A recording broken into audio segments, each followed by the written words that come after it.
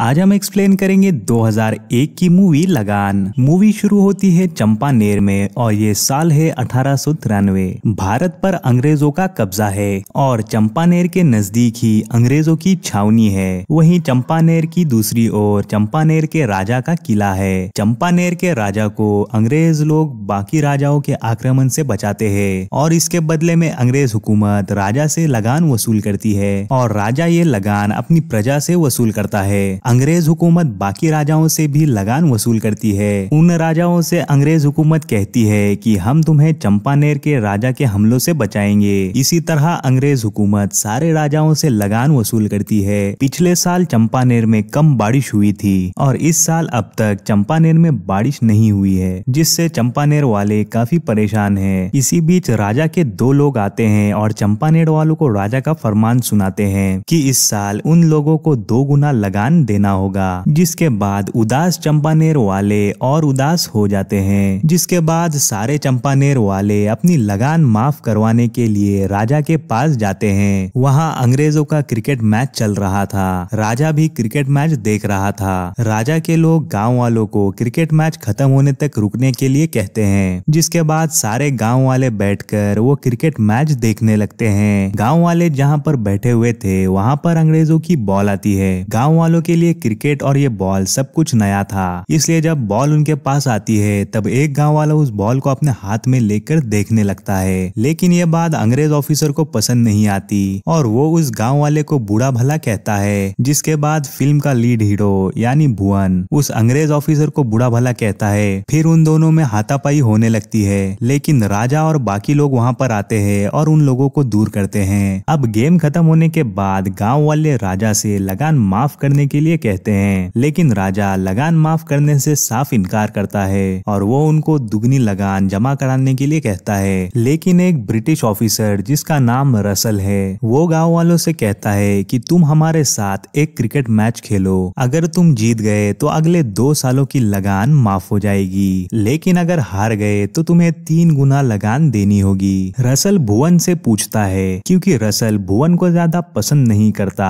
जब वो जंगल में शिकार कर रहा रहा था। तब भुवन छुपके से जानवरों को पत्थर मारकर उन जानवरों को बचा रहा था और रसल ने उसे पकड़ लिया था। भुवन अब गाँव वालों के मना करने के बावजूद शर्त कबूल कर लेता है। अंग्रेज़ ऑफिसर की बहन एलिजाबेथ भी ये सब देख रही थी। वो अपने भाई से कहती है कि ये सब गलत है, लेकिन रसल एक नहीं सुनता। वहाँ गाँव वाले भुवन से कहते हैं कि तुम रसल से माफ़ी मांग लो, क्योंकि इस खेल में हम हार जाएँगे और हम में से कोई भी तीन गुना लगान नहीं दे सकता, लेकिन भुवन माफ़ी मांगने से साफ़ इनकार करता है। रसल की बहन एलिजाबेथ गाँव वालों से कहती है कि मैं तुम्हें क्रिकेट सिखाऊँगी। दरअसल एलिजाबेथ भुवन को पसंद करती है और इसीलिए वो गाँव वालों को क्रिकेट सिखाना चाहती है। अब भुवन अपनी टीम में धीरे धीरे प्लेयर्स जोड़ना शुरू करता है। पहले तो कोई भी इस खेल का हिस्सा नहीं बनना चाहता था, लेकिन धीरे धीरे करके पूरी टीम तैयार हो जाती है और एलिजाबेथ उन लोगों को गेम के रूल सिखाती है। इसी बीच लाखा नाम का एक गाँव वाला रसल को जाकर ये बात बता देता है कि उसकी बहन गाँव वालों को क्रिकेट सिखा रही है। असल में लाखा ऐसा इसलिए कर रहा था क्योंकि वो गौड़ी नाम की लड़की को पसंद करता है, लेकिन गौड़ी भुवन को पसंद करती है। फिर रसल लाखा से कहता है कि तुम भी भुवन की टीम में शामिल हो जाओ। तुम होगे तो भुवन की टीम में, लेकिन खेलोगे हमारे लिए। अब रसल एलिजाबेथ का बाहर निकलना बंद कर देता है, लेकिन एलिजाबेथ एलिजाबेथ अपने वफादार नौकरों की मदद से गाँव वालों को क्रिकेट सिखाने के लिए जाती है। अब लाखा भुवन की टीम में शामिल होने के लिए आता है। भुवन लाखा को अपनी टीम में शामिल करने के लिए पहले तो मना कर रहा था, लेकिन फिर लाखा को वो शामिल कर लेता है। वहाँ मैच से एक दिन पहले एलिजाबेथ भुवन को अकेले में ले जाकर अपने प्यार का इजहार करती है, लेकिन भुवन अंग्रेज़ी नहीं समझ पाता। एलिजाबेथ भुवन से कहती है कि अब सारे गाँव वाले तुम्हारे साथ है। है और वो वहाँ से चली जाती है।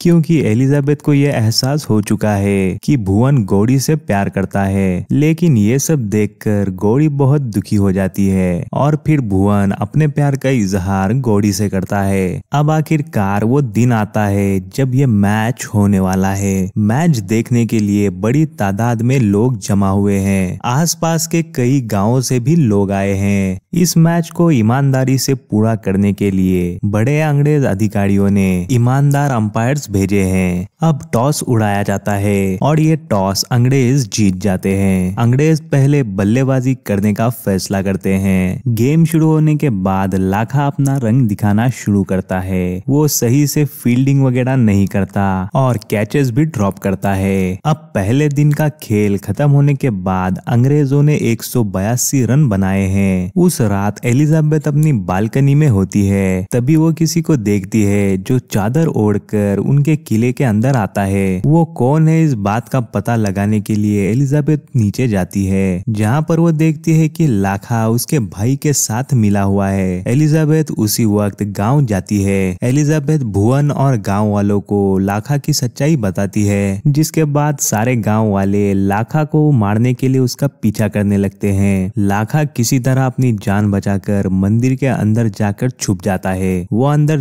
जाकर दरवाज़ा बंद कर देता है। पूरा गाँव लाखा को मारने के लिए पागल हो रहा है। लेकिन भुवन वहाँ पर आता है और उन सब लोगों को शांत करता है। फिर भुवन मंदिर के अंदर जाता है और लाखा से बात करता है। वो लाखा से पूछता है कि तुमने आखिर ऐसा क्यों किया? लाखा बताता है कि मैं गौड़ी से प्यार करता था। लेकिन गौड़ी मुझसे नहीं, बल्कि तुमसे प्यार करती थी। और मैं इस बात का बदला लेना चाहता था। इसलिए मैं अंग्रेज़ों के साथ मिल गया। अब लाखा भुवन से अपने जान की भीख माँगता है। वो भुवन से कहता है कि तुम जो बोलोगे वो करूँगा। बस मुझे गाँव वालों से बचा लो। भुवन कहता है कि तुम्हें अपनी वफादारी साबित करनी होगी। लाखा मान जाता है और भुवन उसे बचा लेता है। अब दूसरे दिन का खेल शुरू होता है और लाखा काफ़ी अच्छी फील्डिंग करता है। वहीं आगे हम देखते हैं कि भुवन कचरा को बॉलिंग देता है। बाकी लोगों के मना करने के बावजूद भुवन कचरा को ही बॉलिंग देता है। और कचरा काफ़ी बेहतरीन बॉलिंग करता है, कचरा हैट्रिक लेता है और आगे हम देखते हैं कि भुवन रसल का विकेट लेता है। अब अंग्रेज़ों की बैटिंग खत्म हो जाने के बाद चंपानेर को जीतने के लिए 323 रन बनाने हैं। शुरुआत में चंपानेर के जल्दी जल्दी विकेट्स गिर जाते हैं और दूसरे दिन का खेल खत्म होने पर चंपानेर ने निन्यानवे रन बनाए हैं और साथ ही चार विकेट भी खो दिए हैं। अब तीसरे दिन चंपानेर काफ़ी अच्छी बैटिंग करती है और मैच आखिरी बॉल तक आती है। आखिरी बॉल में चंपानेर को जीतने के लिए पाँच रन चाहिए। स्ट्राइक पर है कचरा और नॉन स्ट्राइक पर है भुवन। अब गेंदबाज गेंद डालता है, जिसके बाद कचरा और भुवन एक रन दौड़ते हैं। लेकिन जीतने के लिए पाँच रन चाहिए थे। भुवन हार मान जाता है, लेकिन तभी अंपायर नो बॉल का इशारा करता है और स्ट्राइक भुवन के पास आती है। फिर पूरा मैदान भुवन भुवन के नारों से गूंजने लगता है। भुवन बॉल उठाकर खेलता है और बॉल के नीचे खुद रसल मौजूद है। रसल बॉल कैच कर लेता है। रसल अपनी जीत की खुशी मना ही रहा होता है। तब उसे पता चलता है कि उसने ये बॉल बाउंड्री के बाहर जाकर पकड़ी है। इसी तरह चंपानेर ये मैच जीत जाती है। चारों तरफ़ खुशियाँ मनाई जा रही है। एलिजाबेथ भी मैदान में भुवन को मुबारकबाद देने के लिए आती है। लेकिन भुवन और गौड़ी को एक दूसरे से गले मिलते हुए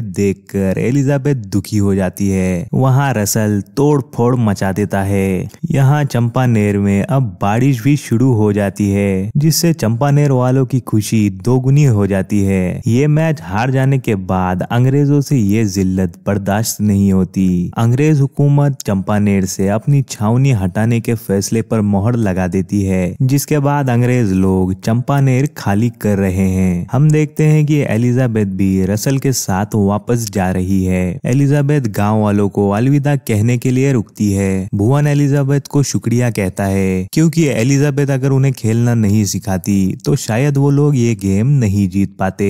एलिजाबेथ काफ़ी दुखी थी। भुवन आखिर तक समझ ही नहीं पाता कि एलिजाबेथ उससे प्यार करती थी। चंपानेर और बाकी गाँवों का तीन साल का लगान तो माफ़ हो गया, लेकिन ये लगान कैप्टन रसल को ही भरना पड़ा, और रसल के सन की बर्ताव की वजह से उसका ट्रांसफ़र नॉर्थ अफ्रीका में हो गया। एलिजाबेथ लंदन वापस चली गई और उसने अपनी ज़िंदगी में कभी शादी नहीं की। यहाँ भुवन और गौड़ी की शादी हो जाती है और शादी में खुद महाराज आते हैं और ये फ़िल्म यहीं पर एंड हो जाती है। ये फ़िल्म साल 2001 में रिलीज़ हुई थी और ऑस्कर्स में भी नॉमिनेट हुई थी। वीडियो अच्छी लगी तो वीडियो को लाइक, शेयर और ऐसी ही वीडियोस देखने के लिए चैनल को भी सब्सक्राइब कीजिए।